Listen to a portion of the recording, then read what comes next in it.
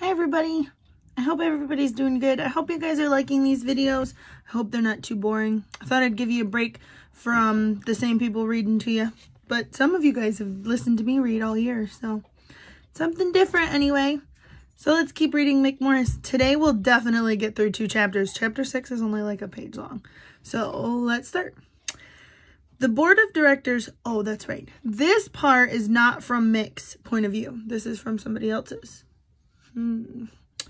The board of directors quietly sat at the front of an enormous conference room. We have no answers. Every single camera has been consistently checked on on an hourly basis, said Tom Masterson, the head security guard of the museum. While people shook their heads and examined the reports, they continued to study the complex layout of the museum.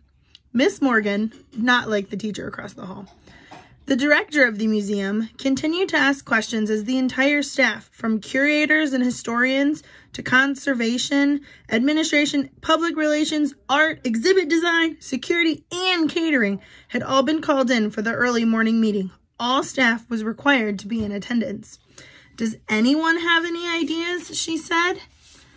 The museum had the unsurpassed reputation of being one of the finest museums in the world. Everything from the exhibits down to the last detail of the museum was always immaculate and in tip-top working order.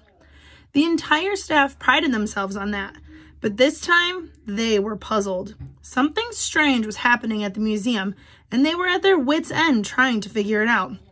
No matter how hard they tried to find out what was going on or to capture the culprit, they couldn't. First, the weird things going on started out small.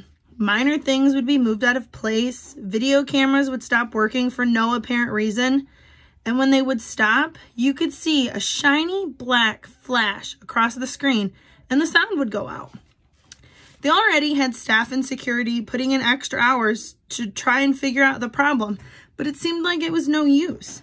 Something was wreaking havoc in the museum, something that was almost inhuman and lightning quick.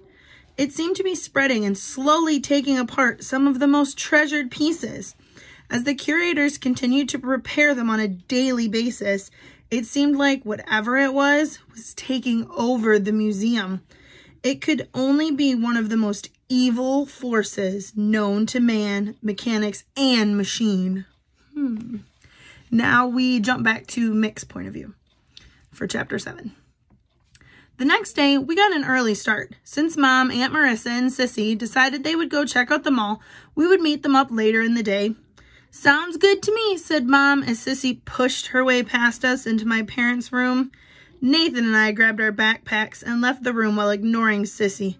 Man, and to think I kind of liked her, said Nathan. What? No way, dude. You've got to be kidding, I said. Well, just a little crush. You have to admit, she's different when she isn't around our parents. Yeah, she's different, all right. Uh, if that's what you want to call it, I laughed.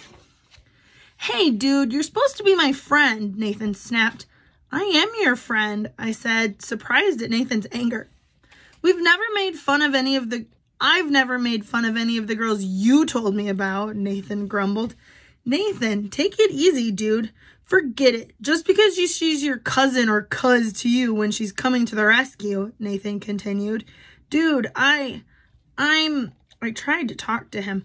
Don't talk to me, okay? Nathan barked as the elevator doors opened. Dad, Uncle Hayden, and Mr. Suarez now caught up to us. I guess they could feel the tension. Everything okay here? asked Dad as he looked at us both. Yeah, fine, I said as Nathan stared straight ahead. Everything okay? asked Mr. Suarez. No, Nathan snapped. I knew enough to know that Nathan's dad asked him something about being tired, but I'd never seen Nathan act like this. He must have been really mad. But now it ticked me off. Sissy was my cousin, so he could pout all he wanted. I didn't care. We rode the glass elevators down to the lobby where we met Brett, James, and some of the other crew members, except for Lenny.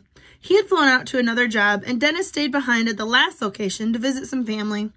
We jumped into the Mythmobile, and within five minutes, we were entering the beautiful museum grounds. We pulled in through the curved iron gate and drove past the perfectly manicured grounds. So there's the picture of what the museum looks like when you drive through it. There's the clock tower and the trees, all that good stuff. As we turned into the parking lot, I couldn't believe how historical and beautiful the buildings looked. Red brick with white trim and fancy woodwork. It felt like we'd stepped back in time. Once inside, there were long, fancy hallways with marbled floors and tall columns with ornate walls. It was beautiful with rows of big chandeliers. We walked in towards the ticket counter into a room with wood benches and a tall counter. A pretty woman with a name tag that read Rona greeted us. Good morning and welcome to the Henry Ford Museum. How many will you how many of you will be visiting us today? Eight, please, replied Mr. Suarez. Have you been here before? asked Rona. No, we replied and shook our heads. Well, I think you'll be in for a real surprise. Most people are amazed by the treasury of history inside the museum. Some unbelievable things. What the friendly woman didn't realize was just how unbelievable some of the things we were about to encounter really were. See, I love this book. Almost every chapter you can end with dun dun dun.